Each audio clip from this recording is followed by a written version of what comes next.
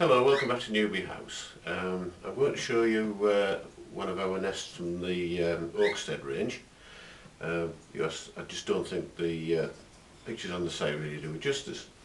Solid oak throughout, beautifully constructed, and as you'll notice, brackets underneath, that top just ain't going anywhere. And it's got a beautiful, smooth, silky lacquered finish uh, which will withstand uh, most things that you're going to put onto it. Um, really good value for money. If you look at our site, um, I think you just might be tempted to buy one. Thank you again.